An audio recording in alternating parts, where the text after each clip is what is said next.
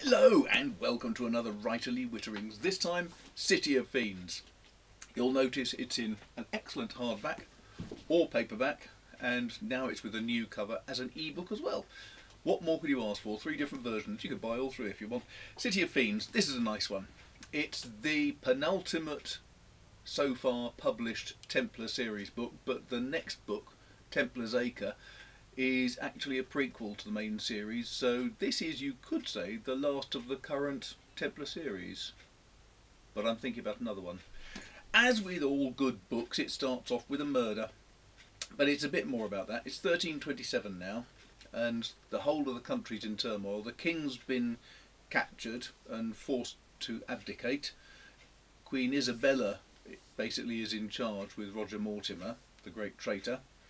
Um, Mortimer himself was a bit of a thug and a typical warrior leader, so he was not the most reliable or decent chap to have running a country.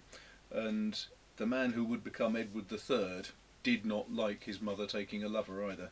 So it was a very exciting time. But the fact is that because that was exciting around the rest of the country, Exeter, like all of the other cities, suffered quite a lot because no one knew who was on whose side, nobody knew what was going to be happening. And then, this is all based on uh, a true story, the Bishop of Exeter was quite a new chap because poor old Walter Stapledon had died the year before.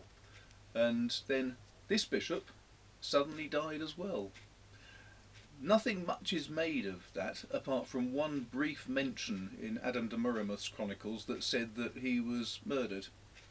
So there you've got it. You've got a bishop murdered, you've got a young woman murdered, and basically Baldwin has to join up with Richard de Welles, Sir Richard de Welles, the old coroner, to try to figure out what was going on. I really enjoyed this book. It's another one of those books I wrote which is covering two aspects of life. One is how the peasants and the poor lived in a city like Exeter, how conflicts can start up from the most foolish, ridiculous uh, little incidents, but it's also the sweep of the history across the whole of the UK, uh, across the whole of England with the capture of the king. So I think this is good. I think it's one of my best. I hope you do too. Go and buy it and enjoy it. Thanks very much. And now I'll return to my tea.